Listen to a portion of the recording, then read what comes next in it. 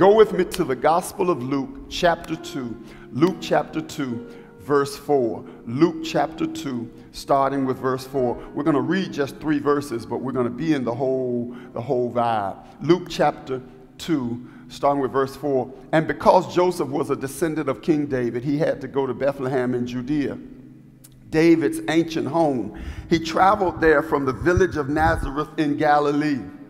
He took with him Mary, his fiancee. New Living Translation says fiancee. The reality is they were espoused, or who was, who was now obviously pregnant. And while they were there, the time came for her baby to be born. Watch this. Can we go to verse 7? She gave birth to her first child, a son. She wrapped him snugly in strips of cloth and laid him in a manger because there was no lodging available for them.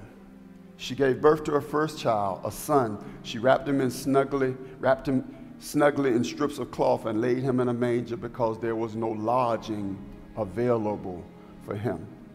My assignment today is to minister to you from this subject. No was necessary. If you're sitting next to somebody, can you just say, No was necessary? No, no was necessary. Father, I pray for anointing that will enable me to make the word speak clearly. I claim authority to share the gospel this day. I believe that you will use lips of clay to speak revelation and rhema to all those connected. May the word of God do that which it is sent to do for you. Remind us in your word that it will not return void. So I claim the authority to share the gospel this day. In the name of Jesus. Amen. Amen. Can you imagine? Can you imagine? Can you imagine in Bible days being pregnant, being unmarried,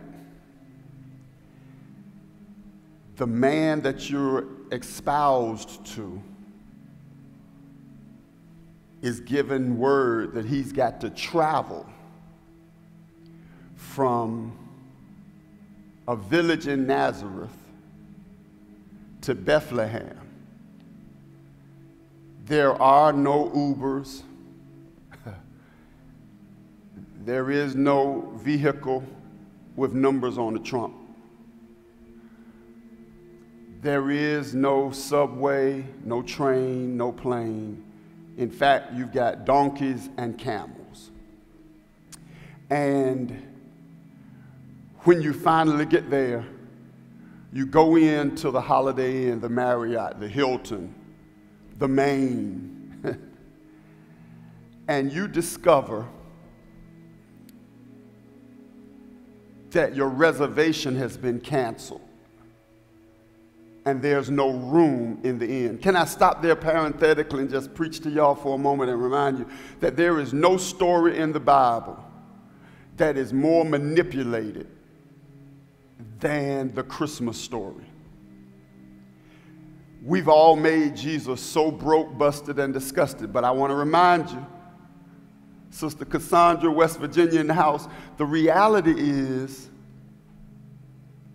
if they were so broke, why did they go to the hotel or the inn to get a room? At least they had enough on their credit card to be able to secure a room for one night. Am I making sense so far? Yet when they get there, the innkeeper, I always wanted to do an interview with the innkeeper. I would love to talk to that brother after he finds out that the couple that he didn't let get a room were the Savior of the world. That's a whole parenthetical perspective right there that you better be careful how you turn folk away from your life because you can't identify who they are because they don't look like who you would want them to look like. My grandmother used to say, We'll be entertaining angels unaware. You better watch how you take for granted relationships and people that come into your life very sporadically, how that might be the hand of God bringing somebody in your life that's so connected to your destiny. Watch this. Sometimes the people we're trying to spend all this face time with can't help us. And sometimes the folks that we turning away are the ones that God has ordained to move us to our next destination. It's so amazing. That brother tells Mary and Joseph they can't find space in the Now, I'm, I'm, you know, I got to play it out. Even if they didn't have a room, man, can they sleep on the couch down in the lobby? Can they just, can they just make a pallet by the fireplace? But he actually turns them away. And the thing that's so amazing to me is I believe the whole story is about our ability to handle no. There it is. Watch this. I've learned that until we can master handling no, and many times, in fact, yesterday, uh, I'm going to get there in a minute, but yesterday I spent a long time talking to my sister, and I was telling her, watch this, shout you on the way, I'm going to preach myself happy. At least five times I tried to leave the mount. Years ago, when the mount was small, I tried to leave at least five times. At least five times I sent my resume to another church, and every time, I never forget, one that was the most funny, um, Deaconess Antoinette, the one that was most funny, I preached at this local church in Tidewater. And when I got up to preach, all of my little church from Chesapeake was sitting out there because somebody had told them that I was coming to candidate for their church. And so here it is. I never forget Sister Matron Beckett and, and Mother, Mother Laura Easton and all of them sitting out there in the front three rows of the church that's not our church. And I'm over there trying to candidate, and somebody has told them I'm coming over there trying to leave Mount Lebanon, and they sitting there. I preached myself to death that day. And anybody that knows Sister Matron Be- Beckett, you know, she would just she would just say what she gonna say. And so when church was over, she came up to me and um, Mother Easton said, I never forget, Mother Easton was a mother, you know, she was so motherly. Mother Easton said, Pastor, why are you over here? What are you doing? But Matron Beckett, Sister Matron Beckett, she was a former pastor's wife. She came up to me and said, Bring your tail on back over here to Bell's Mill. You know you ain't got no business being over here. And I just felt this big because the reality is I was so busy trying to make a blessing. Oh, y'all missing a shout cue. I was so busy trying to make a blessing. Bishop I.V. Hilliard says, if you make a blessing, you'll miss a blessing because the reality is we don't have to manufacture the blessings that God has ordained for us because whatever God has for us, it's for us. And so the reality is I came on back to Mount Lebanon with my 75 folk over here, cornfields and tractors rolling down Bells Mill Road. I'm here to tell you that 30 years later, I would be upset if there was somebody else standing up here that could look at an LED screen, if there was somebody else up here that could look at all these minstrels over here, and I was still stuck somewhere that was never my assignment, I'm just grateful to learn that they said no to me and I learned how to handle the no. Somebody around the world ought to jump up and say, God, I can handle the no. Because what I've learned is that sometimes the denial is not a delay, or the, delay is not a denial. God is working it out. And I want to suggest to you that Mary and Joseph become the example for how we handle a no and recognize that the no was necessary. Here it is. Let me give it to you real quick. Number one, why is the no or why was the no necessary? Y'all ready? Sisters, don't y'all throw me under the bus. I know I got all my sisters up there on the Zoom today. Don't throw me under the bus, but I got to go here. Now, you know if many of us had gone into that inn, pregnant as we are, wobbling in there, all stressed, been on this long journey all the way from Nazareth, and that fool behind the counter told us that we didn't have any space, we would have put our hand on our hip started that finger to wagging, got up in his face and said, You watch this. This is what elder, this is when elder goes black woman on me. She says, You have lost your ever-loving mind up in here. So you know the head would have been juking, the finger would have been pointing, and the hand would have been on the hip. But yet the Bible says, watch this, here it is. In verse 19, it says, But Mary kept all these things in her heart and thought about them often. That's the first point. I want you to understand that when no happens in your life, that the no is necessary. And what it's doing is, here it is, is challenging us to learn how to control our flesh. I don't know who needs to hear this, but every now and then, you can't get everybody told. You can't get everybody straight. You can't always share your mind. You can't all, and watch this. Stop saying, well, they know who I am. I am who I am. And they know I'm going to tell them like it is, and I'm going to keep it 100. Sometimes the reason why God is allowing a no to happen in our life is so that he can prove we We know how to hold our peace. We know how to understand that God is moving. We know how to keep our mouth closed and control our flesh. I'm here to tell you that if you learn how to control your flesh, you will go so much further because if the reality is that God is still in control, that God is still sovereign, that God is still moving on my behalf, I've got to learn how to control my flesh. That's why I love what 1 Corinthians 9 and 27 says. It says, I discipline my body like an athlete, training it to do what it should. Otherwise, I fear that after preaching to others, I myself might be disqualified. Okay, y'all ready? There's a whole lot of folk right now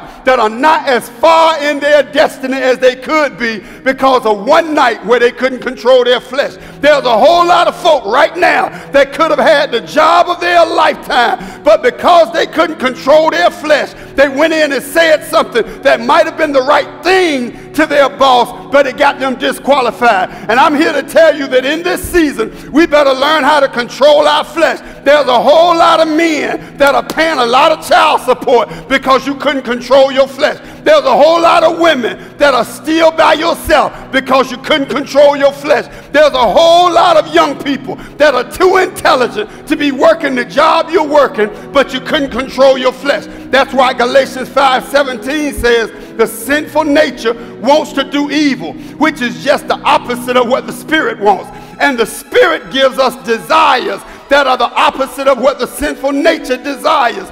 These two forces are constantly fighting each other. So you are not free to carry out your good intentions. Can I suggest to you that the enemy many times allows things to happen in our life because what he's trying to do is get us to operate in our flesh and abort our destiny. But I believe I got some folks watching around the world today that'll declare, I'm not going to let my mouth disqualify me. I'm not going to let my flesh disqualify me. I'm going to let the Lord fight my battles. I don't have to get everybody told. I don't have to respond to everything. I don't have to say something to everybody on Facebook because the reality is a no sometimes is my opportunity to show people I can control my flesh. I got to move. Not only do I need to learn how to control my flesh, but the no was necessary. Here it is to celebrate my favor. Okay, see if I can labor right there. I want to suggest to you that what Mary decides is why in the world am I going to allow some insensitive innkeeper to cause me to forget that in the midst of everything that's going on, I got a whole lot to celebrate. Oh God, I don't know who I'm talking to right there. Baby, you at the wrong church if you wanted to have a COVID pity party today. I'm sorry. You need to click off the Zoom right now Find somebody else that will cry with you because I am not about to take an invitation to your personal pity party. Because I want to let you know I'm looking at people on the Zoom. Your hair still looks good. You still got hair. Even if it's not the right color, you still got hair. You got somewhere to sit on the couch. You got a couch. You got a roof over your head. Obviously, I'm looking at these screens. It doesn't look like too many of us have missed a meal. In spite of all that's going on, we've had food on our table. We got a roof over our head. We got loved ones still around us. I need you to tell somebody, don't bring me no depressing news because with all that's going on, I still have the favor of God. You know what this no does? This no gives Mary the opportunity to say, look, am I going to let one moment over here cause me to get so distracted that I forget all the other stuff? Do you not know I am a woman that is pregnant and have never been with a man? That's got to be favor. I'm a woman that's getting ready to bring forth the Savior of the world. That's got to be favor. I got a man that believed my story that I have never been with a man. And instead of putting me away quietly, he still wants to be with me. I've got a man that loves me in spite of all my issues. Oh God, I need somebody that'll throw up a hand and say, God, forgive me for every time I got so distracted that I didn't give you thanks for the favor that's on my life. I got food in the refrigerator. I got clothes on my back. I got a house that I'm still living in. I might have to wear a mask, but that's all right. I'll wear my mask and lift my hands up. I'll wear my mask and bring my tithe. I'll wear my mask. I need somebody that understands I've got the favor of God. That's why I love what Luke 2.21 says. It says, eight days later, when the baby was circumcised, he was named Jesus, the name given him by the angel even before he was conceived. Do I have anybody that'll give God glory today? Because you know that in the midst of COVID, I'm still here. The other day I had my first encounter, and I'm telling you, you will praise God when you get that COVID result and it says negative, and you know it's by the grace of God. It's only by the grace of God. It's not because you're better than anybody else. It's not because you're more anointed than anybody else. It's not because you didn't get some stuff wrong. It's because God's grace is sufficient. Somebody ought to be ready to give the King of Kings and the Lord of Lords praise because you know I got favor on my life. My children are all right. My wife is all right. My husband is all right. I still got transportation. I still got a little money in the bank. I still got the ability to lift up my hands. I still have the opportunity to get up on my feet. I am too favored to be depressed. I am too favored to be discouraged. I am too favored to have an attitude. God, do what you got to do. So the no was necessary.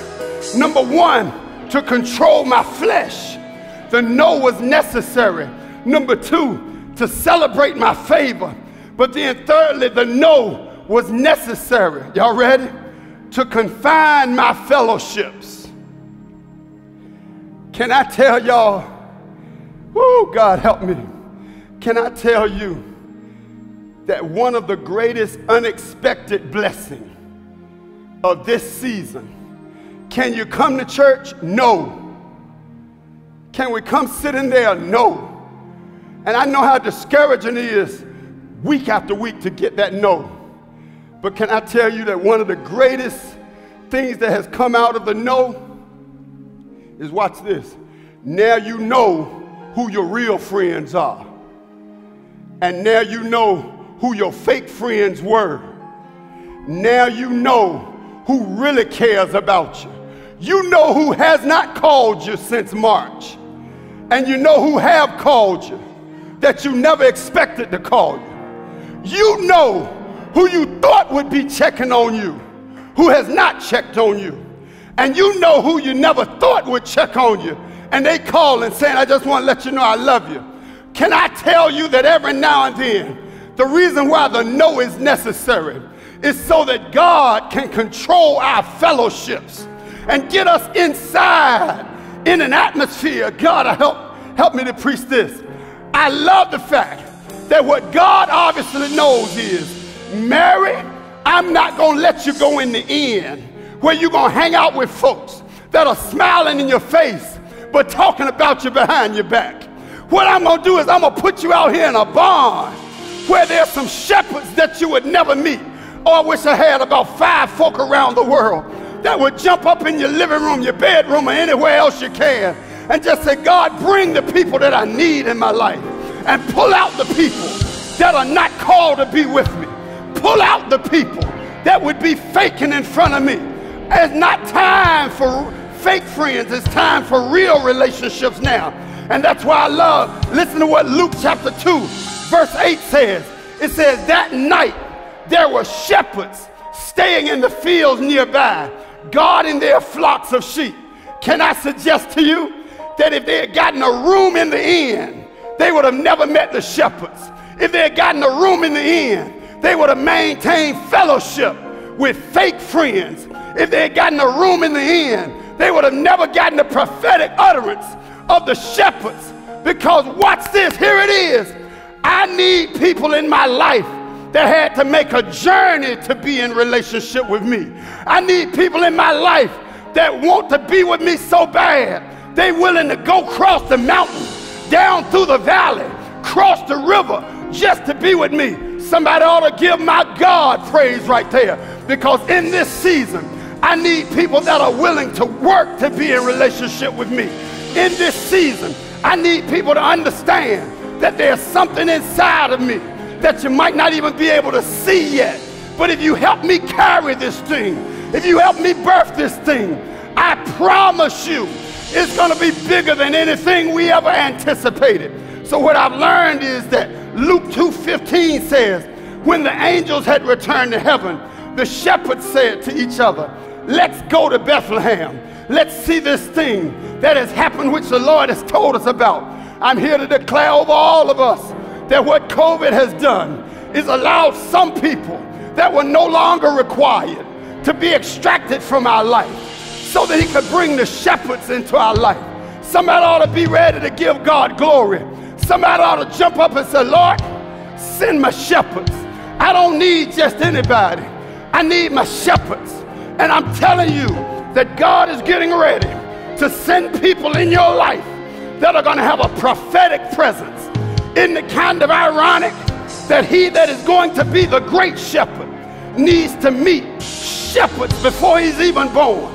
So God is getting ready to send people in our life that are going to show us our destiny by who they are. So you might be called to be a business owner. God is sending business owners so that you can see it's possible. You might be called to go back to school. God is sending people that have already made it through school so you can see it's possible. Does anybody understand what I'm trying to preach to you? I got to get ready to say goodbye to you. Good to see all of your faces this morning. But I want to let you know that every now and then, the no is necessary because the no gives me the ability to control my flesh. The no gives me the ability to celebrate my favor. The no gives me the ability to confine my fellowship. But then finally, the no gives me the ability to certify my faithfulness. Do I have anybody that will declare just because I'm not in church does not mean my faith is wavering. I'm going to do the same thing in my house that I would be doing in the house of the Lord. If I was in the house of the Lord, I'd be clapping my hands. If I was in the house of the Lord, I'd be standing on my feet. If I was in the house of the Lord, I'd be opening up my mouth.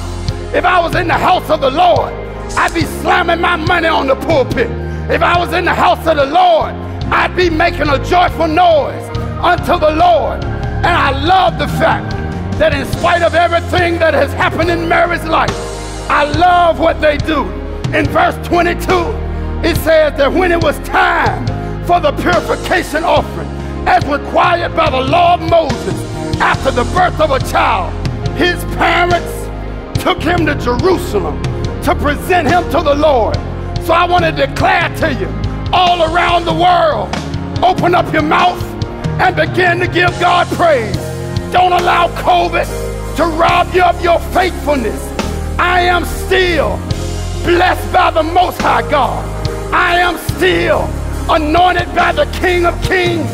I am still grateful that last night my bed didn't become my cooling board. I'm still giving him grace. I'm still giving him glory. I'm certifying that my faithfulness was never based upon how many people were in the building. My faithfulness was never predicated on how good the choir sang. I can bless him with no choir. I can bless him even in my house. I got to go there because I feel like lifting him up. Give God glory. Can we go there one time before I leave? Lift up your heads. O ye gates, and be ye lifted up, ye everlasting doors, and the King of glory shall come in. I've got a question for you. Even in your living room, even in your bedroom, even in your family room, even in your car, even at the workplace, who is the King of glory? The Lord strong and mighty. He is. Yes, he is. Yes, He is. Yes, He is the King of glory. Make a joyful noise unto the God of our salvation. He's worthy of our praise. Don't be discouraged because of the no. The no was necessary to show us how to control our flesh the no was necessary to show us how to celebrate our favor. The no was necessary to confine our fellowships. And the no was necessary to certify my faithfulness. I'm talking to those of us that in the midst of the pandemic have still brought God our tithe, still giving God our praise. Here's what's so amazing. Watch this. Mm, God, I feel your presence. Oh, God, I feel your presence. Ronnie, here's what's so amazing. The other day, I talked to a sister, and it made so much sense, who was getting ready to get evicted, but she brought her tithe. And here's what's so amazing. You would think that's crazy. Why bring your tithe when you're getting ready to get evicted? And she said something that was so profound. She said, keeping my tithe, my tithe was not enough to pay my rent. So if I'm going to get evicted, I'm going to at least get evicted knowing I'm okay with God. Now that was crazy, but it made so much sense to me. She said, me keeping my tithe was nowhere near enough to take care of the obligation to my landlord. So giving my tithe couldn't make my situation worse. She said, but what if giving my tithe released something in my life that was able to stop me from getting evicted? I don't know who recently has had a no and you needed this word today. Please know that whenever God allows us to handle a no, I go full circle now. I feel like I need to sow a seed into the five churches that I wanted to go to that said no. I'm so grateful you said no. Because if you had said yes, I might have been out of the will of God. I know I would have been out of the will of God. And here's what's so crazy not throwing shade at anybody. Not one of those five is doing better than the Mount today. Sometimes God allows a no. Here it is, you can tweet this because it's a yes in disguise. Sometimes the no is a yes in disguise. God is saying no over here because He's saying yes to so much more than you think you're losing. Well, if you're watching us today from anywhere around the world and you desire to accept Jesus as your Savior, real quickly, all you've got to do is text accept to 71441. If you're desirous of rededicating your life to Christ, all you've got to do is text restart to 71441. And if you believe that the Mount Global Fellowship is a place where you are called to connect yourself, that I am spiritual leader to you and that one of the sites is ordained to serve your spiritual need. All you got to do is text Mount Up to 71441. Now here's what I ask you to do. Don't just text and then ignore the prompts because the prompts are going to give us the ability to serve you and help you walk out your faith.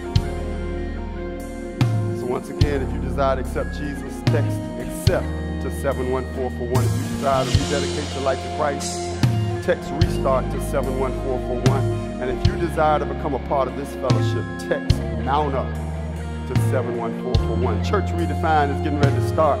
You know how we do it every week. I hope that God bless me to be a blessing to you. Y'all know how we leave. We would do it if we were in this building. Now unto him who is able to keep us from falling, present us faultless before the throne of God. To the only Almighty God be glory and majesty, dominion and power, now, henceforth, and forevermore. I call you blessed in the city, blessed in the field, blessed when you come, and blessed when you go. In Jesus' name. Love y'all to life.